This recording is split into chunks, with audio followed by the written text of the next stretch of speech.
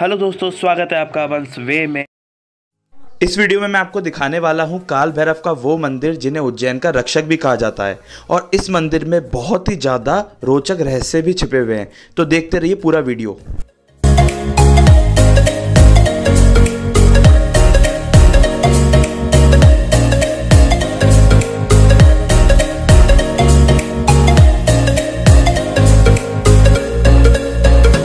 तो अभी हम आ चुके हैं काल भैरव मंदिर पर, जिन्हें उज्जैन का रक्षक भी कहा जाता है।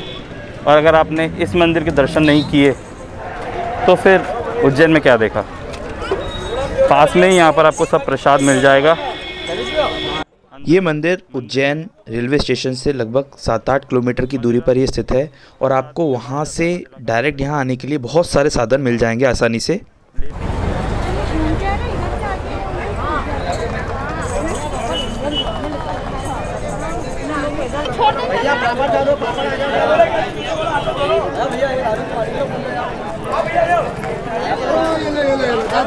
दस रुपए की ओ भैया। Yellow yellow yellow yellow yellow दस रुपए की। यहाँ पर मंदिर परिसर के बाहर ही आपको तरह तरह की दुकानें मिल जाएँगी प्रसाद के लिए। आप अपने अनुसार यहाँ पे प्रसाद खरीद सकते हैं और भगवान को अर्पित कर सकते हैं।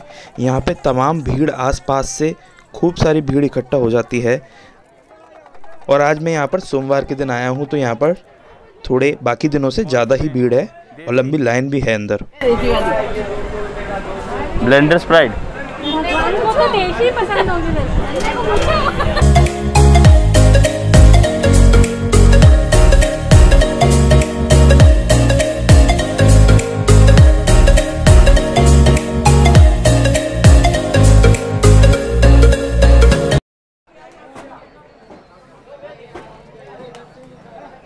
यहाँ पर बाहर अलग अलग तरह की बोतल मिलती हैं अल्कोहल की, जो आप अंदर भगवान श्री भैरवनाथ जी को अर्पित कर सकते हैं। तो हम यहाँ से कुछ चढ़ावा खरीद लेते हैं और फिर अंदर चलते हैं। मंदिर के दर्शन की ओर।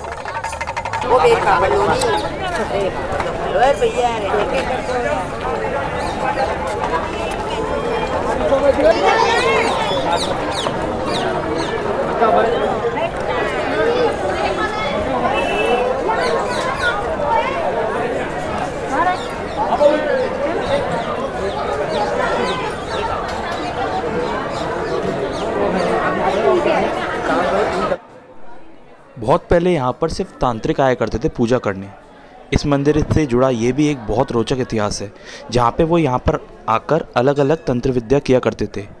लेकिन बाद में इस मंदिर को आम लोगों के लिए खोल दिया गया, जब से इस मंदिर में बहुत ही ज़्यादा भीड़ आने लगी। और कुछ साल पहले ही यहाँ पर जो बकरी की बलि दी जाती थी, वो देना बंद कर दी गई।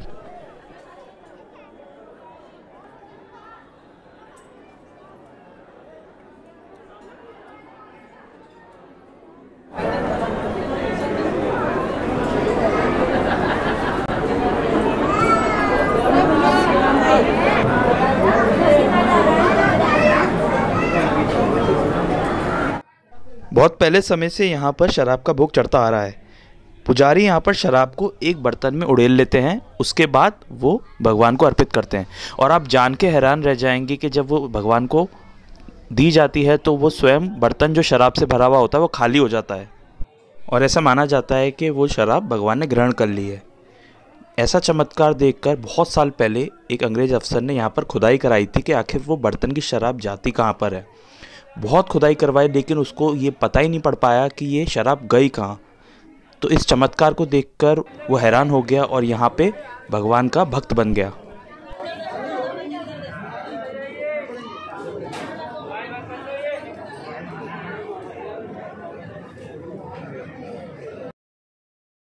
अब आप करीब से देखिए। देखिए, पुजारी ने एक बर्तन में सारी जो शराब थी वो खाली कर ली है। अब ये भोग के रूप में भगवान को चढ़ाई जा रही है। अब जैसे ही वो भगवान के पास लेके जाता है, वो बर्तन खाली होता जाता है और शराब चमत्कारी रूप से अर्पित हो जाती है। अभी हमने दर्शन किए मेन काल भैरव मंदिर के पास में ही ये शिव मंदिर है स्थापित।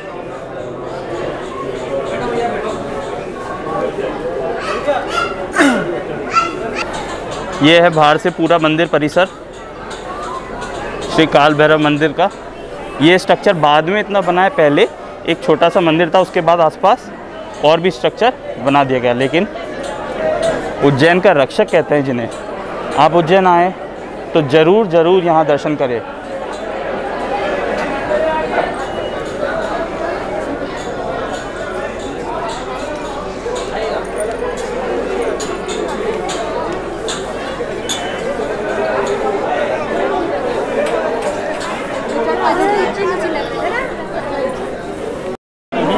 मेरे को कुछ नहीं मालूम है मामा जी है ना? अरे नहीं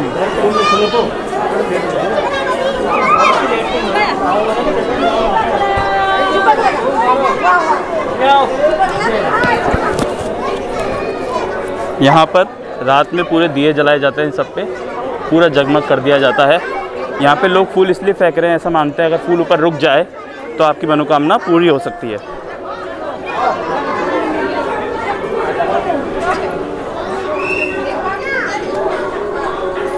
अब इसी के पास में एक प्राचीन मंदिर रखा है, श्री दत्तात्रेय मंदिर।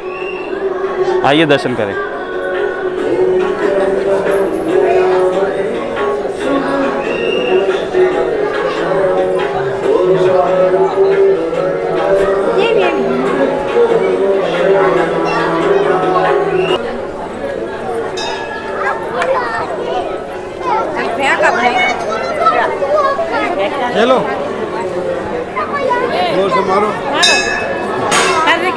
Thank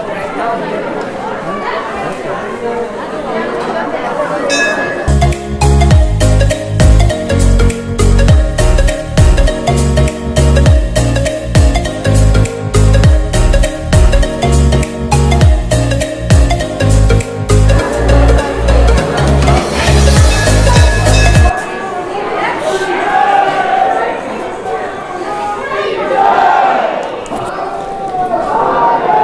अब मंदिर परिसर से होते हुए हम बाहर की तरफ़ चलेंगे और चलेंगे अगले दर्शन की ओर।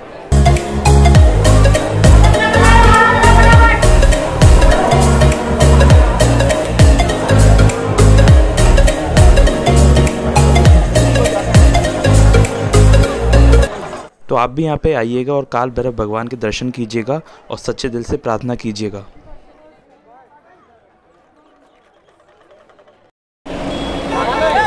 तो अब हमारे साथ यहाँ पर हैं एक माता जी अब इनसे बात करते ये बहुत टाइम से आते रही हैं उस टाइम पर कैसा लगता था ये मंदिर? उस टाइम पर तो ये मंदिर बिल्कुल कच्चा आप कहाँ से आई हैं? हम तो इस समय मंदसौर से आ रहे हैं। अच्छा। लेकिन उज्जैन में बहुत साल रहे हैं। अच्छा अच्छा। तो यहाँ का हमने सब साइकिल से ही घूमा है पूरा। अच्छा। अब कुछ चेंज नज़र आता है इस मंदिर में आपको? इसमें तो बहुत बड़ा चेंज हो गया है। हाँ जी। पहले तो यहाँ पर कुछ भी नहीं था। अच्छा। अब इतना बड़ा परिसर भी बन गया है पक्का अच्छा। हो गया है सारा। मंदिर का सौंदर्यीकरण हो गया है। हाँ। पहले ये सब कुछ नहीं था। हाँ। अच्छा। तो मंदिर दर्शन हो गए आपको अच्छी तरह से? हाँ दर्शन तो हो गए। भीड़ थी लेकिन आराम से हो गए दर्शन। अच्छा। कोई मैसेज देना चाहेंगे आप हमारे दर्शकों को? हाँ दर्शकों को यही मैसेज देंगे। भीड़ भी हो तो भी मास्क का प्रयोग करें और मास्क लगाकर ही मंदिर परिसर में प्रवेश करें। जी थैंक यू वेरी मच तो ये मैंने आपको बताया, पूरा मंदिर का एक रोचक इतिहास और साथ ही में मैंने आपको दर्शन भी कराए बहुत अच्छे। देखते रहिए, आगे भी अच्छे अच्छे व्लॉग्स आने वाले देखते रहिए और सब्सक्राइब ज़रूर कर लीजिएगा मेरे चैनल को।